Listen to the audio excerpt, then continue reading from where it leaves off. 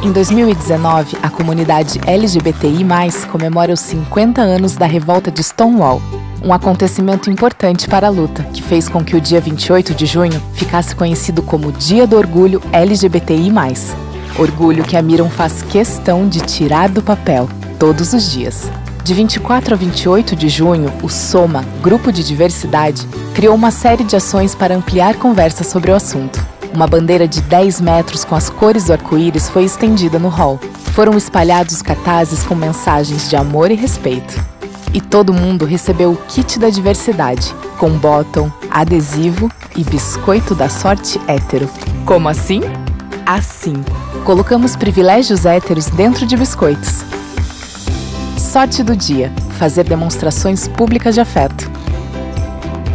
Se ver representado no casal principal da novela não sentir que nasceu no corpo errado. Para fechar a semana, todo mundo foi convidado para assinar a bandeira. É, quase faltou espaço para tanto orgulho. O tradicional papo com GG foi substituído pelo papo LGBTI+, e teve convidadas especiais.